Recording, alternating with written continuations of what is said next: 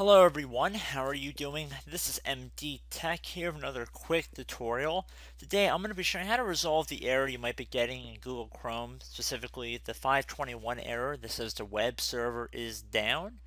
So this is pretty self-explanatory in what I'm going to be going through in this video, and this is primarily a Google related issue but I'm going to be showing hopefully a little workaround to fix this temporarily or permanently if you're continuing to get this error for an extended period of time. But anyway, we're just going to open up any web browser here. I'm just going to fittingly open up Google Chrome. Doesn't really matter which web browser you choose, as long as we get to Google so obviously some of you guys will not be able to access this page. You'd be getting an error if you tried to go onto google.com. So let's say for example that you're getting this issue when going onto Google. So open the URL bar. I'm actually going to type in ask.com. You could do Yahoo as well, but I'm just going to do ask.com. And I'm going to select that. So now that we're on the ask page, we're going to type in Google and then at this point enter any other country that you could think of that you should be able to search with.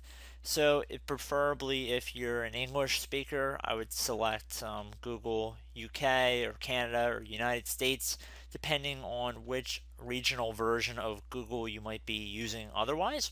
So for example, if you're in Canada, you might want to try typing in Google United States which should be the default Google page if I think correctly. And then if, for example, if you speak Spanish, you might want to select Mexico.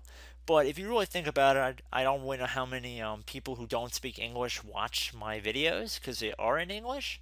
So it should pretty much just be another English speaking country you should enter here.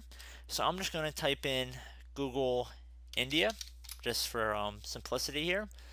Give a little shout out to my Indian viewers. So one of the top search results should say google.co.in. You want to left click on that.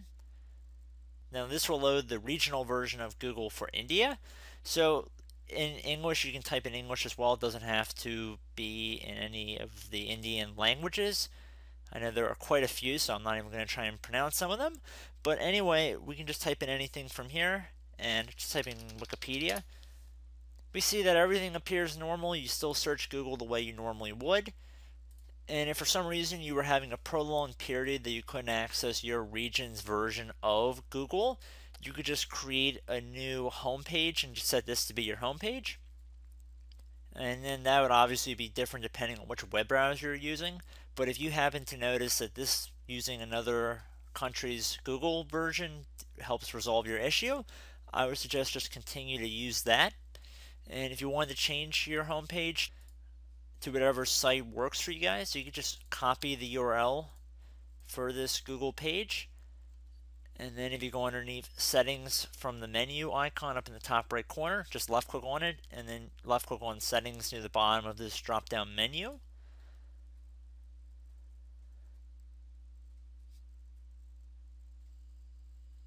If you scroll down this page,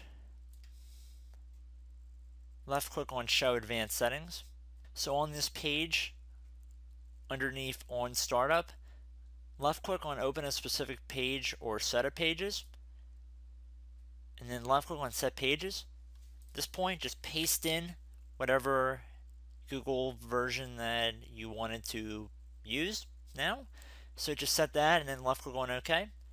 So now if we close out of the web browser and I reopen Google Chrome, Keep in mind this will be different if you're using Firefox, it won't appear to be the same. But this should load the Indian version of Google, which for all intensive purposes is Google.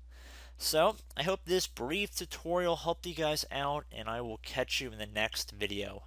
Goodbye.